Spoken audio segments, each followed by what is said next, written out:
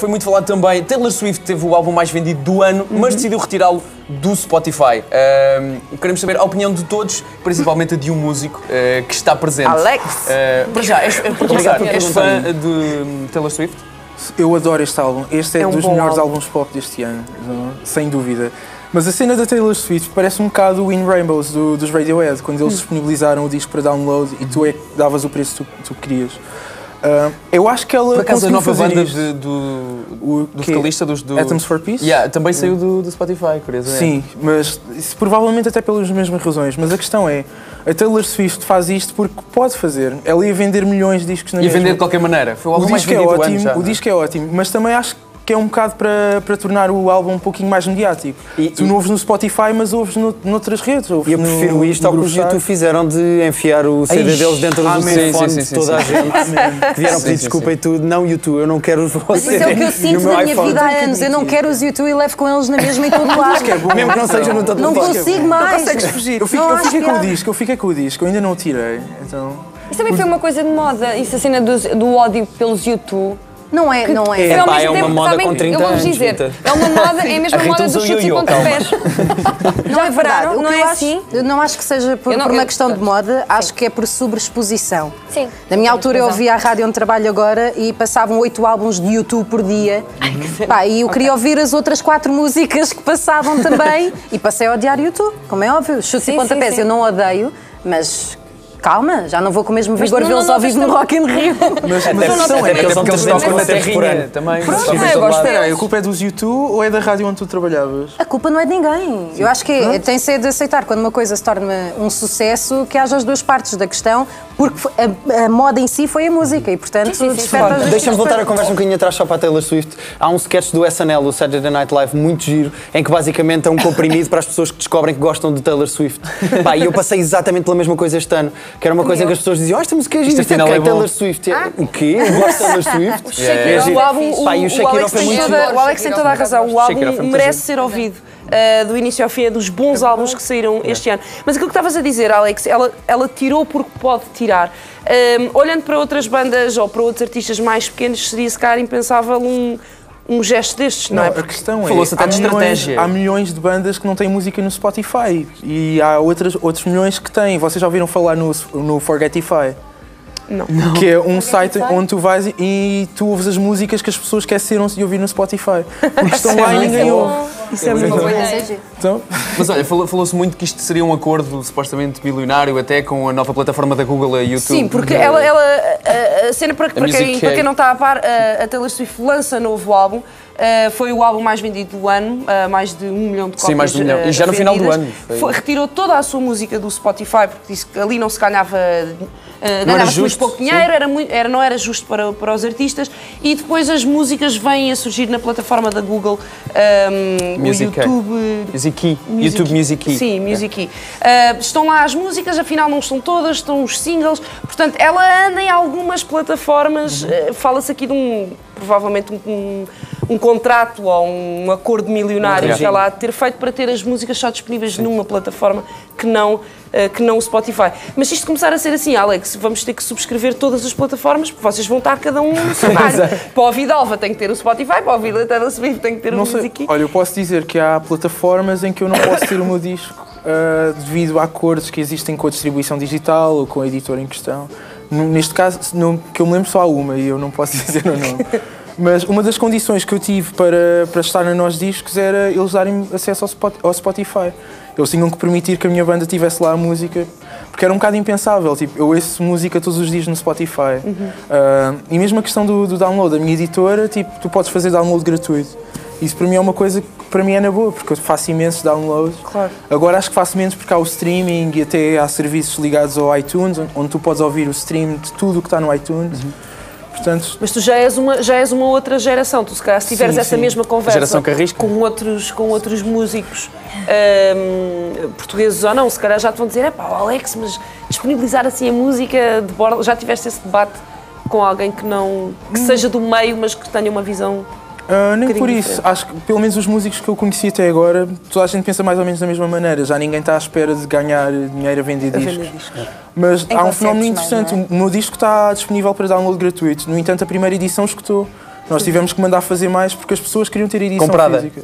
Exatamente. Então tivemos de ir à fábrica para nos mandar mais discos. Olha, como é Alex, que no fundo a pergunta que eu acho que nós temos todos a pensar é tu estás bem na vida, estás bem, precisas de dinheiro. Eu trabalho num call center. Ok, eu trabalho tá. num call center. Não é tão fixe como este, porque este há câmaras e aparece a televisão. Este é o mais conhecido do E as país. chamadas são pelo este é o melhor Skype. call center de todos? Acaso ainda é engraçado, eh, é PT, por exemplo, um call center da PT fazer telefonemas por Skype. Não era? Entrar não. Eu não quero que as pessoas da PT me vejam de cuecas em casa. Era que eu acho que não dava conversas mais Olha, a empresa é? para a qual eu trabalho, a ISOS, tem Snapchat. Nós damos assistência pelo Facebook e tudo. Aí é muito. Somos muito fixe. Olha, a, Empregado vocês, a vossa relação com, com a maneira como ouvem música atualmente também. Uh, 2014 mudou alguma coisa ou não, trouxe nada de novo? Não trouxe absolutamente nada Continuas de a novo. ouvir David Bowie? Sim. Ok. Me- Sim, até porque lançou, lançou, olha, lançou um álbum este ano. Sim. Sim, sim.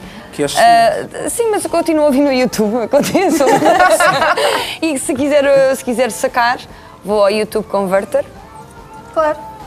e, e saco. De envergonhada. Sabes que é tudo legal o que tu estás a dizer. É sério? É legal? Vocês sabem que os artistas ganham dinheiro com, com Não, mas os também compro, mas também compro é. uh, álbuns, atenção, vou à, vou à FNAC e compro. E vais a concertos? Uh, Sim, E vocês? sou obrigada. Vou trabalhar. Vem lá trabalhar, eu nem queria. Eh, Eu basicamente continuo a ouvir pelo Spotify, se bem que me irritam um bocadinho os anúncios. Pois, eu deixei de ouvir por causa dos anúncios. E não Ai, vou como gastar. é que era? Ah, eu ouvia não tanto. não me chateia. Gostas de boa música? Exato.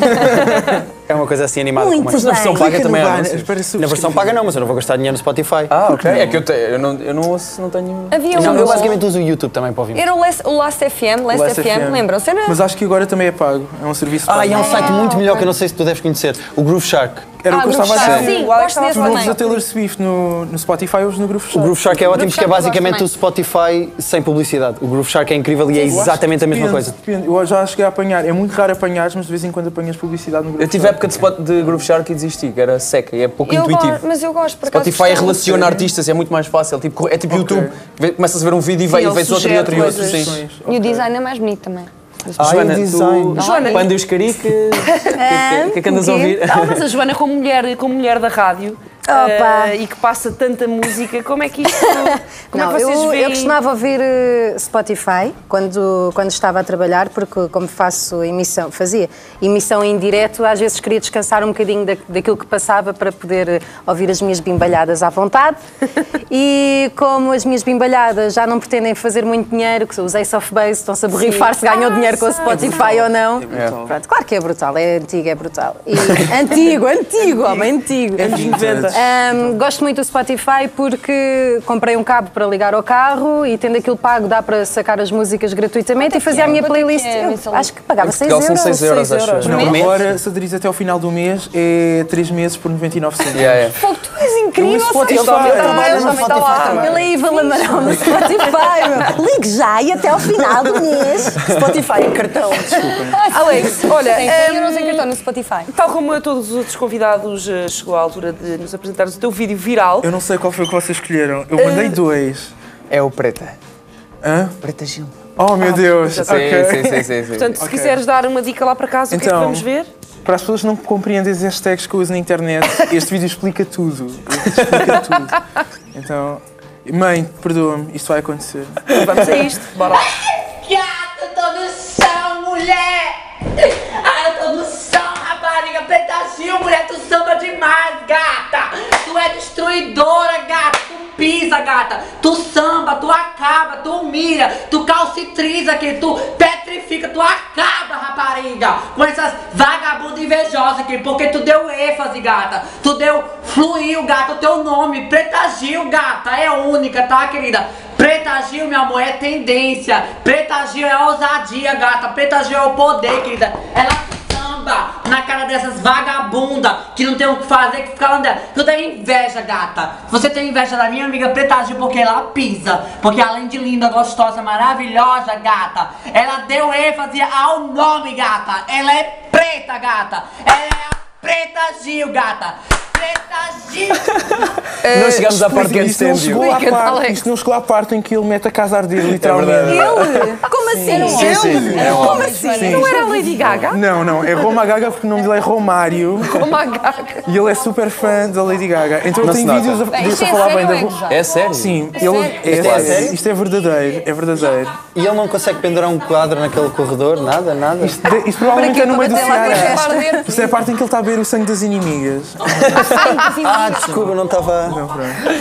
Há toda uma Ah, liturgia. Aqui ele, quer fazer sinal de Porque a Preta Gil arrasa. Então, Arrasa literalmente, Arrasa não, é só, isso- não é só metaforicamente. De facto, era a melhor parte. queima a perna Preta Gil pega a fogo. Exatamente. Preta Gil precisa extintor. Mas há Preta Gil vídeos não é assim. preta. Há vídeos assim sobre a Lady Gaga, sobre a Rihanna, sobre a Beyoncé. E ele tem uma, uma única inimiga assim, arqui-inimiga. É Ali, a Katy no Perry. chão? Ah, ele não gosta da Katy Perry. Não. A Katy Perry é uma flopada, é uma rapariga, uma prostituta. Rapariga, Rapariga dos Que é mais- ofensas. A Lady Gaga tá na ousadia. Aplause e aplause. Chega de vídeo colorido, Katy Perry. Quem gostar deste vídeo tem toda para aí 10 séries para ver do Bad Girls Club aqui na SIC Radical, É que é a mesma coisa. Papof, bitch! Olha, papof, papof! Também há não é? coisas a arder. Não sei em português, não sei como é que é. Tradução é. Vai tudo dar ao mesmo.